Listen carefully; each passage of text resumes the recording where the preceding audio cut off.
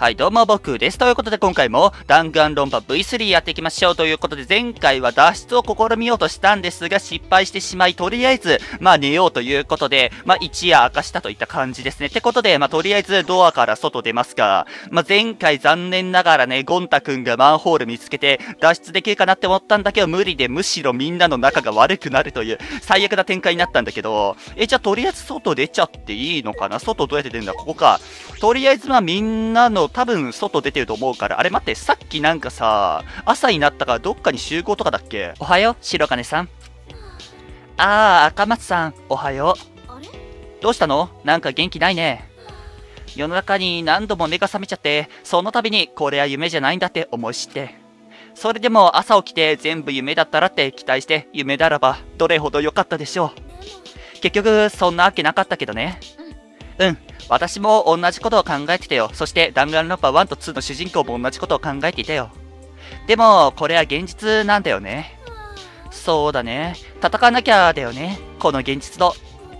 ああ、ごめんね。朝から変な話をして、みんな待ってるだろうし、先に行くね。そうだそうだ、とりあえずなんか食堂にみんなで集まろうっていう感じか。なんか1とか2もね、だいたい食堂にとりあえず集合しようみたいなところあったんで、まあ、今回もそんな感じと。おはよう、犀原くん。うん、おはよう。こんなところでどうしたの？食堂に行かないの？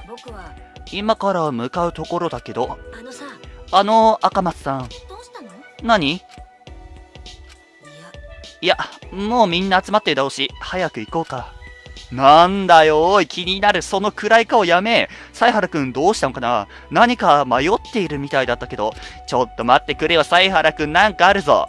ちょっとサイハラくんがね、本当に怖いのよ。サイハラくんも、サイハラくん恐怖症になっちゃって、あの、悪い意味、まあまあ悪い意味でもあるんだけどさ、ね、サイハラくんが死ぬんじゃないかとか、逆に殺人を犯すんじゃないかという、第一の犠牲者になる説がすごいもうプンプンするからさ、めちゃめちゃ怖いんだけど、そうじゃないと祈ってるよ、サイハラくん。頼むよ。身の回り注意して、そして殺すとかそういうこと考えないようにして、お願いね、よろしく頼んだよ。さてことで、みんな集まってんのかな？集まってるすごい。誰一人欠けてないよね、これ。あ、もうみんな来てたんだね。これで全員揃ったね。よかったよかった。どうやら犠牲者出ていないみたいだね。今回はみんな素直だね。みんななんかデスゲームは乗り気ではあったけど、なんかみんなの輪を崩すようなそういう人もそんなに今回いないからさ、結構仲良しであるよね。1とか2に比べて、戸上白夜みたいな人とかさ、くずりゅうくんみたいなやつがいないからさ、結構みんな、当然じゃないですか。赤松ちゃんは大丈夫？え、大丈夫って何が？ほら、昨日みんなに寄ってたかって責められたせいで落ち込んでたでしょ？ちょっと。ちょ、ちょっと何を急に？ひどいよね。ほんと、みんなひどいよね。赤松ちゃんがかわいそうお前から言い始めたんだろ。めちゃめちゃお前が元凶だぞ。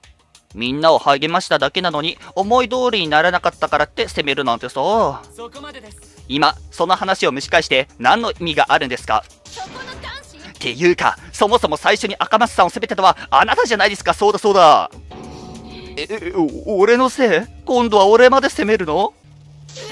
うおひどいよあ、めっちゃ泣いてる。水出すぎ。大丈夫か？ちょっと脱水症状に気をつけて。その水の量はやばいて。ふん、想像しやろうだ。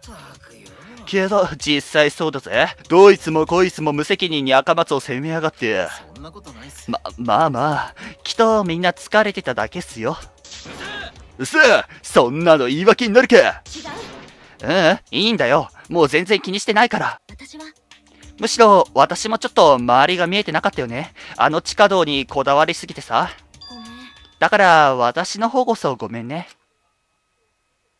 そうか。わてよ、てめえがそれでいいな、俺もそれでいいや。よかった。ああ、よかった。これで一見落着だね。お前が起こしておいて。お前が全ての元凶だからな。まあ一応今めちゃめちゃ平和な感じではやってるけど、この中で一番やべえやつ誰かと聞かれたら多分こいつだ。ちょっと元は君が言い出したことですよね。嘘だよ。おお、俺は嘘だよ。みんなの結束を固めるための優しい嘘ってやつだね。知らなかった？俺の嘘の半分は優しさでできてるんだよ。まあそれも嘘なんですけどね。それこそ嘘くさいの。もういいからさ、またみんなで話し合おうよ。どうすれば一緒にここから出られるか、もう一度みんなで考えてみよう。お、おお、モノクマその前にお知らせがあります急に来るじゃん。ちょっと、いきなり出てこないでよ。心臓への負担が甚大だよ。あごめん驚かすつもりはあったんだあるんかい。あったんじゃな。で、何しに来たんすか？いや大した話じゃないんだけどささ、モノクマが大体大した話じゃないって言うときは本当はめちゃめちゃ大事な話なんだけど。ほら今って当たり障りなくいいやつぶってた方が生きやすい時代でしょ。いきなり殺し合いしろって言われてもそう簡単に人は殺せないだろうからお前らが安心して殺し合いできるように僕が人を殺す言い訳を与えてあげようと思ってさ出たね、動機だね。動機、息切れ、はあ、はあはあだね。人を殺す言い訳。つまり動機だよ。それがあればあら不思議。もし殺人がバレたとしてもお涙ちょうだいシーンにしてごまかすことができるんだ。な、何を言ってるんですか。理解不能です。ででは早速記念すべき最初の動機を発表します。今までにないパターン。おー、怖っ。えー、今回は殺し合いの初回特典としてスペシャルな動機を用意しました。マジっすか。初回特典なんすか。大体後半になるほどやばい動機なことが多いけど、初回特典でこんなに素晴らしい動機をもらっちゃっていいんすか。なんと最初に行われる殺人に関しては学級裁判は行われません。えー、え？ちょっと待って、え、ど、どういうこと？つまり真っ先に殺人を犯した人物は無条件にこの最終学園を卒業できるのです。じゃあもうここで殺しちゃえばよくない？ここでちょっと隣にいる人のは人にさ、刃物刺して、はい出まーすって、それでいけちゃうわけ？それずるくない？なんか、もう、学級裁判が行われない？なんか期限あんのかな ?1 日までみたいな。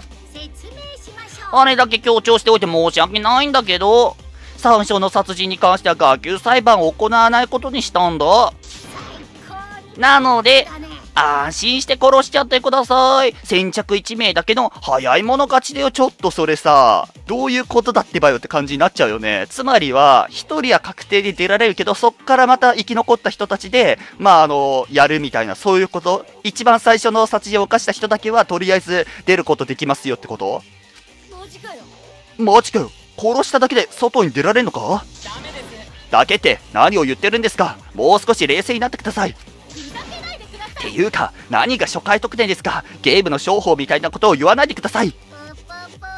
そんなこと言って本当は嬉しいんでしょ？嬉しくありませんよ。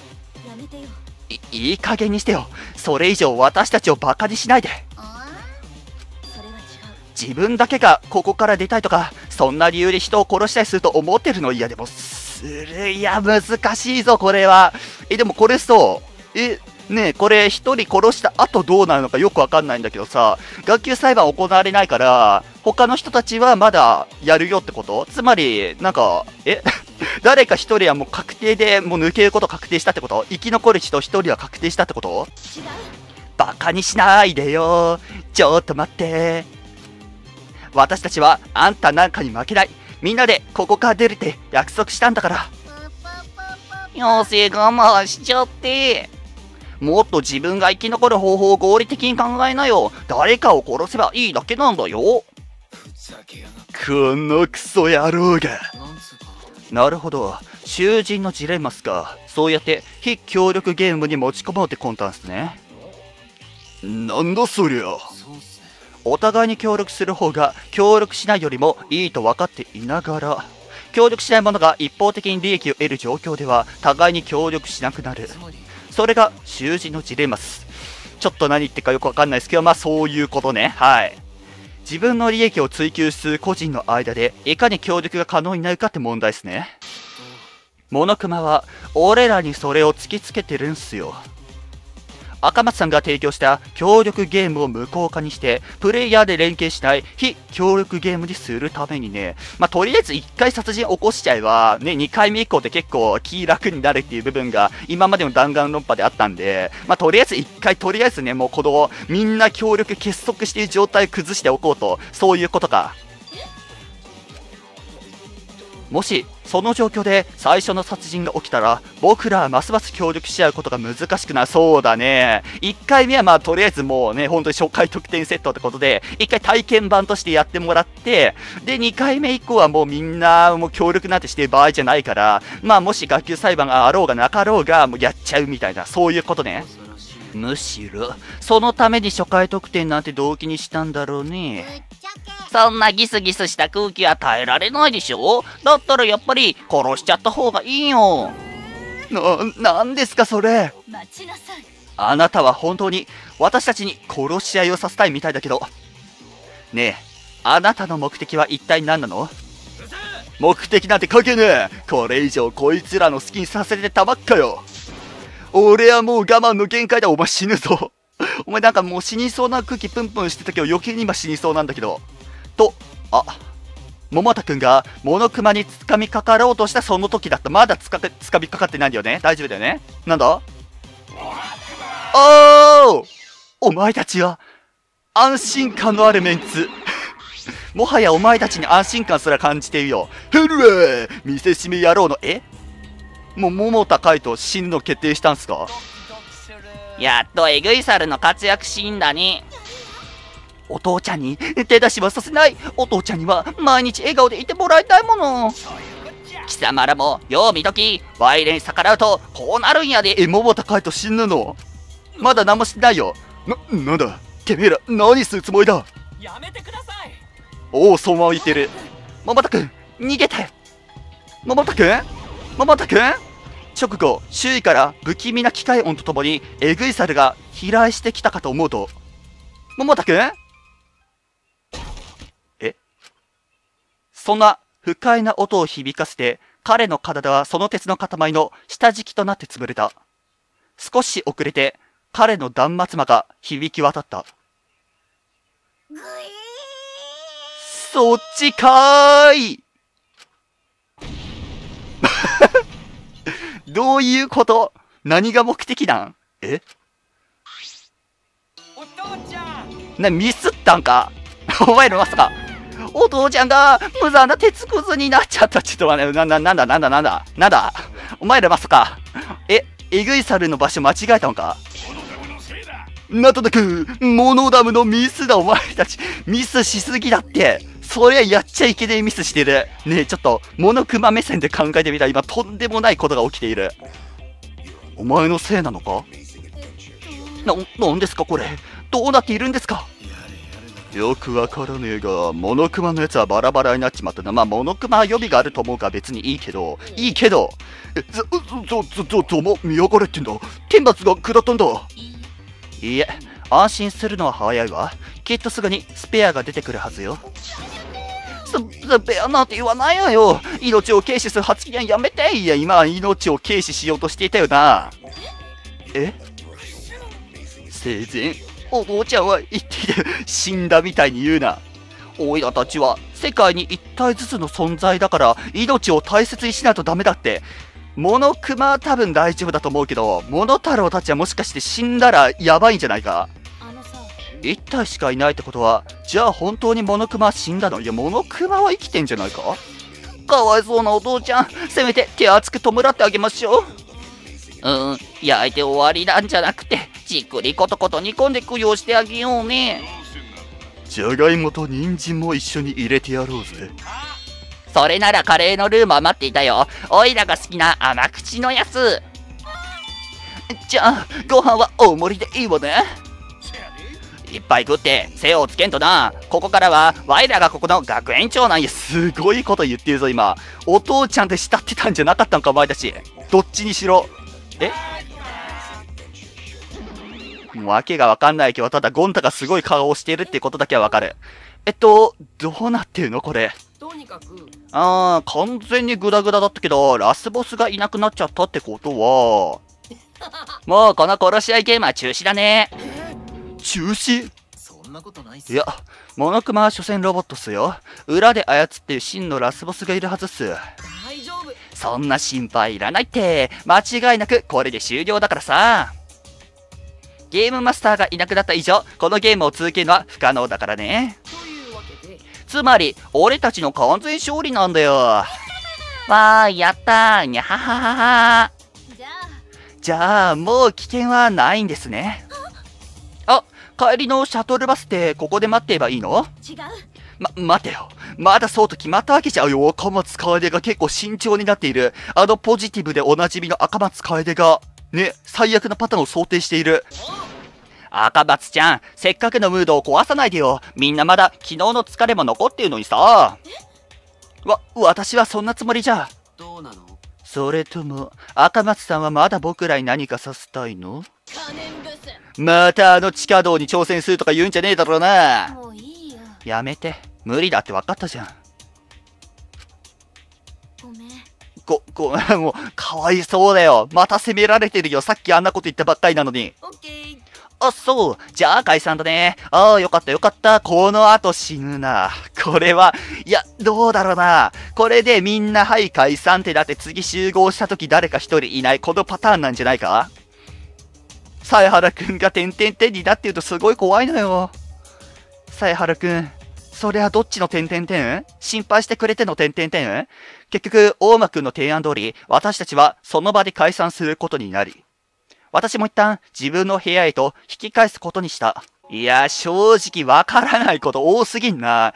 まずその初回特典で結局有効なのかな、まだ。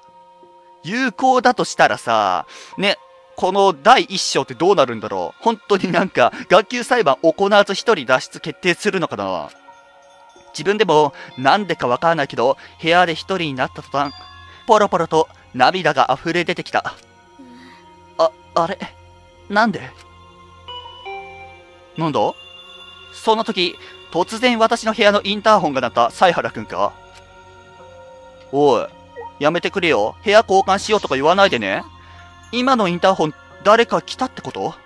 私が慌てて目元を拭きながら玄関の扉を開けると、犀原くんだよね、さすがに。大丈夫赤松さん、大丈夫？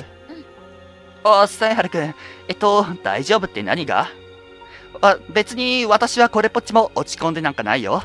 僕は赤松さんは悪くないと思う。やっぱ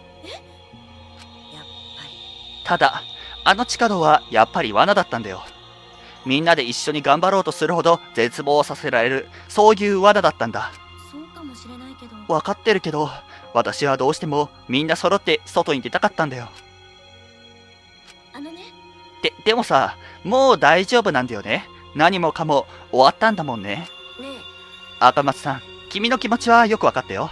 だったら僕は君を信じることにするやめて。主人公を信じる人大体しながらやめて。